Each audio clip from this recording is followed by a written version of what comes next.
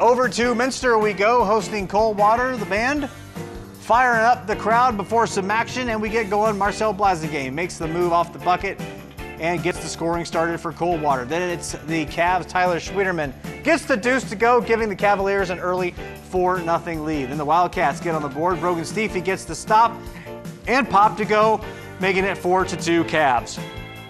The Cavs come right back. Evan Harlemert from downtown top of the key three, push the lead to 7 to 2 Cavaliers. Then Schwieterman makes the move, takes it to the rim inside for another two, 9 to 2 Coldwater on top.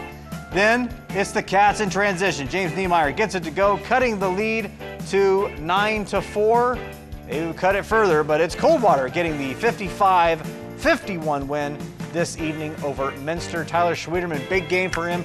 21 points, 4 boards. Blazigan, 15.6 boards. Devin Webker pacing Minster with 13 points and 6 rebounds.